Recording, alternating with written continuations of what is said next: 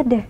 Wah, banyak banget nih yang pada pesen gamis yang terbaru Yang kita post all- kemarin itu? dari all shop kita. Iya, tuh. Kan Gila. kayaknya fix deh.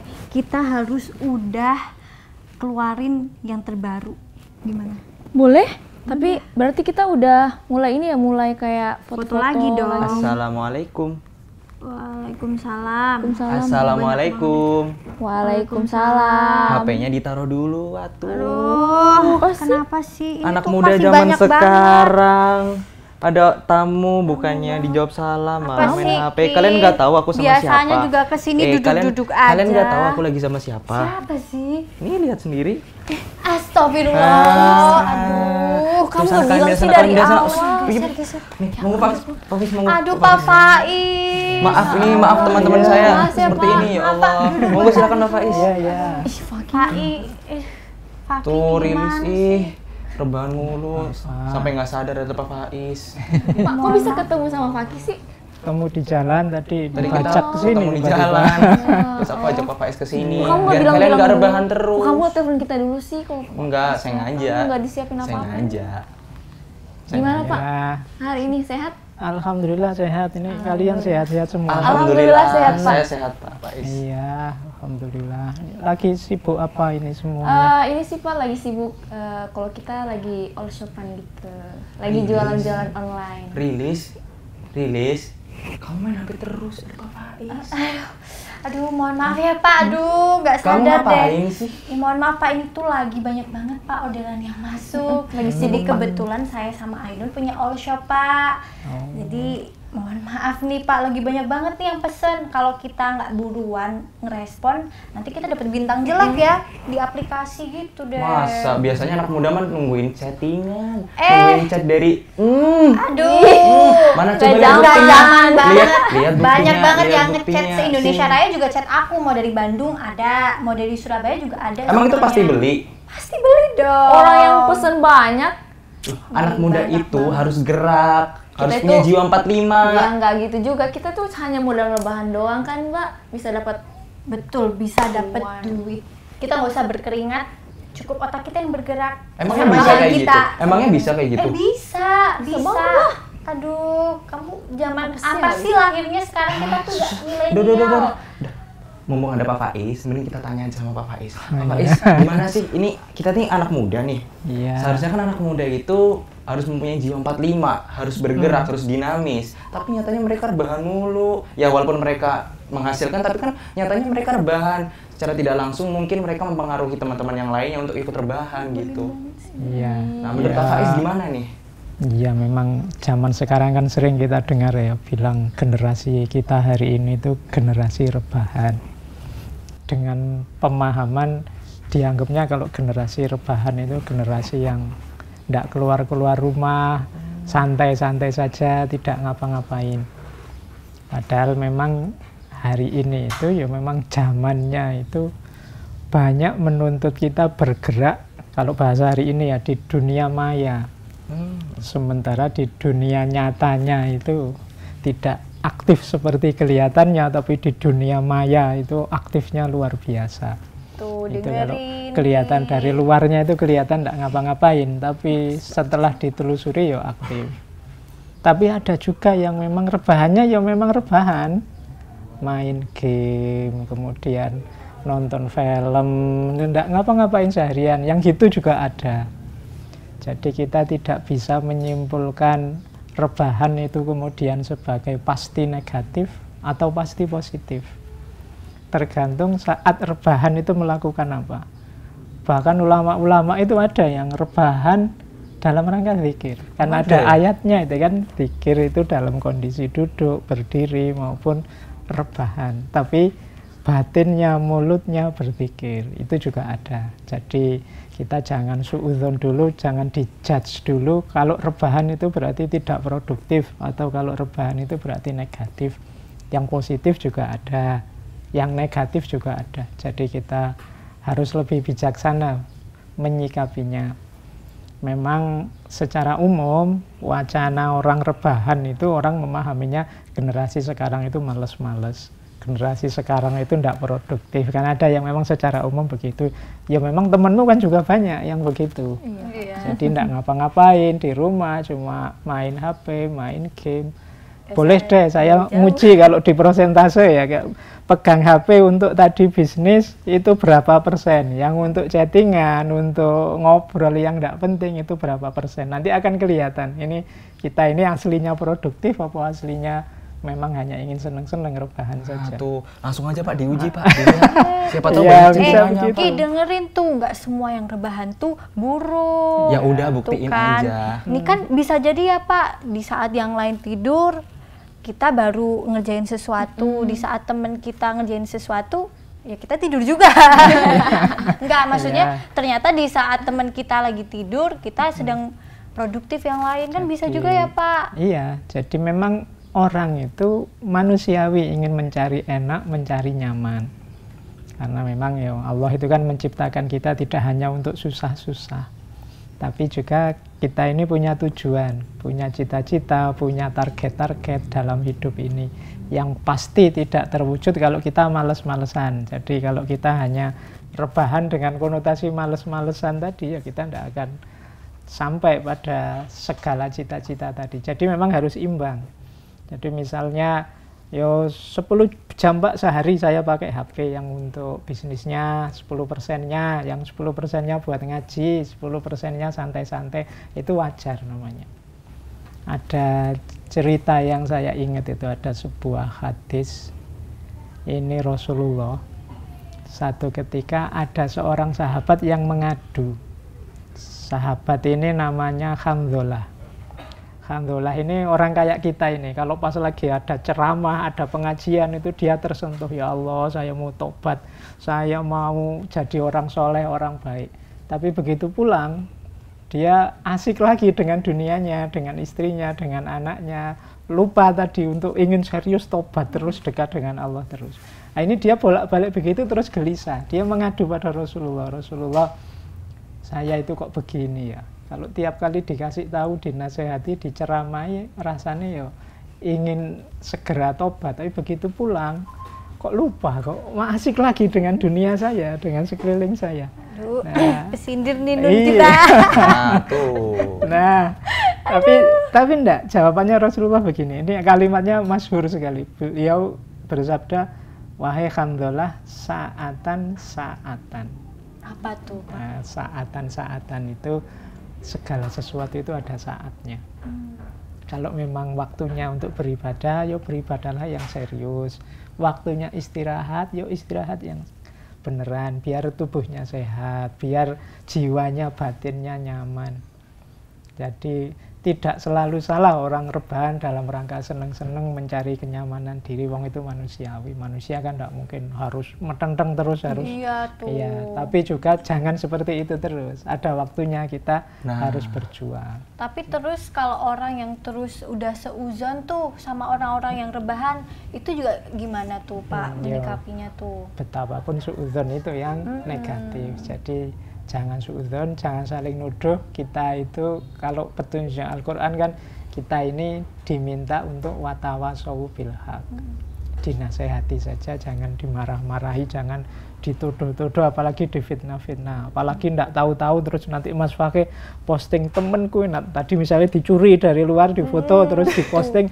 Nah ini temenku tiap hari gini nih kerjaannya. Sering banget tuh pasti di rebahan. status ya kita cek Iya. nih Tuh, kayaknya dia yang- juga udah bikin kan story kalau di duluan. kalau misalnya keluar ngurusin paket itu kan susah banget pak malah panas mending pas ada HP itu kita langsung Iya. klik aja itu langsung udah keurus semua gitu loh pak makanya, Ya, makanya- kita kerjanya dari rumah ya nggak sih Hmm, Tuh, makanya Ki, tadi. itu kita terlihat pengangguran, tetapi sangat produktif di dalamnya kan, Nun? bisnis Tapi gini, Pak, kan mereka eh, rebahan tapi produktif.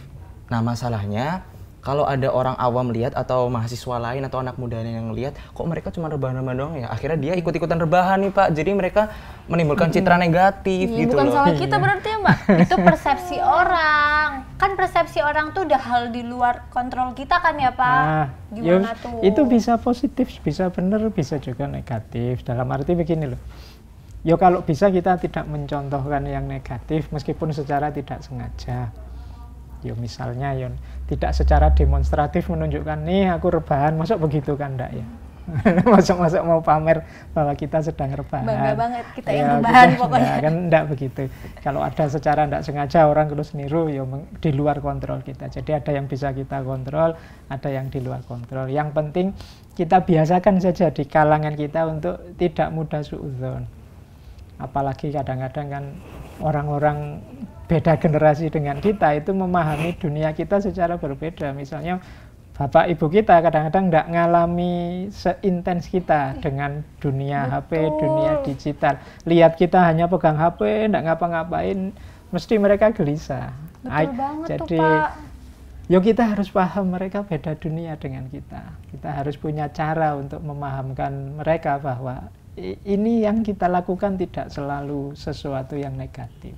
Karena kadang-kadang kita ngaji juga pakai HP kan hari ini, belajar bukunya juga pakai HP. Sekarang sekolah saja juga pakai HP. Virtual. Jadi bisa berhari-hari hampir 24 jam itu kita ada di depan HP. Memang mode hidupnya sekarang seperti itu. Maka ya memang pemahaman antar generasi hari ini penting. Jangankan antar generasi dengan teman sendiri kadang juga beda pemahaman.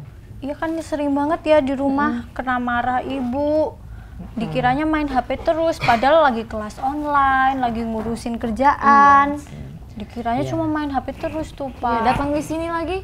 Udah fakir lagi. Ada fakih lagi tuh. Tadi seuzan kan dia. Uzon terus, udah kayak emak-emak. Tapi ya- Soalnya aku manusia. gitu. Bener nggak sih Pak? Kan manusia itu melihat secara dohirnya gitu loh. Hmm, bisa juga begitu, tapi memang suudzon itu kalau bisa tidak kita biasakan. Kalau di agama itu kan melarang suudzon, menyarankan tabayun. Jadi sebelum tahu benar ini apa sih yang dibaca, ini apa yang dilakukan, tidak di judgment dulu, tidak dinilai dulu sampai benar-benar paham. Tapi juga yang asik dengan HP-nya, dengan ininya harus jujur loh ya. Bener enggak sih itu memang sesuatu yang manfaat terus atau jangan-jangan ya sejak tadi cuma Instagraman apa Twitteran apa Facebookan kalau gitu ada teman terus ganti channel kayak ngaji. Padahal itu sebenarnya Aduh, cuma alibi banget. aja. Nah, Eh, itu tapi Pak juga. Faiz, ada nggak sih kira-kira dari ayat Al-Quran atau mungkin dari hadis Nabi Shallallahu Alaihi Wasallam yang menjelaskan tentang hal ini gitu? Tapi nanti Pak Faiz jawabnya setelah yang satu ini.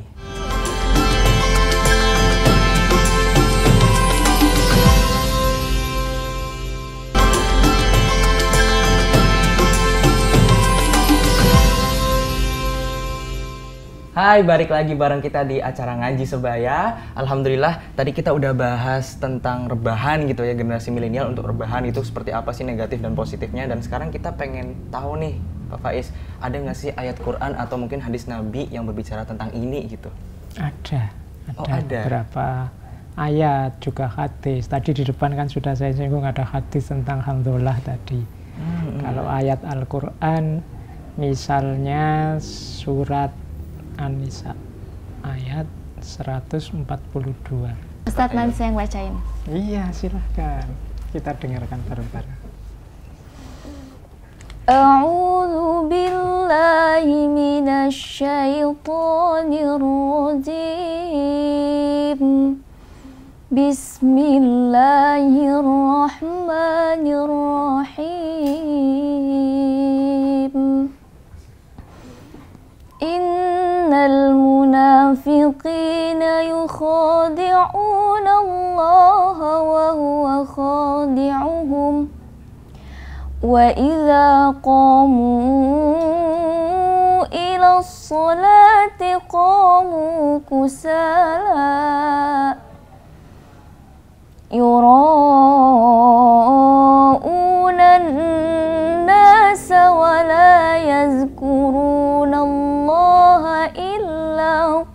qawila Sadaqallahul azim Jadi itu ayat tadi itu artinya di antara ciri-cirinya orang-orang munafik itu sering bikin trik, bikin tipuan.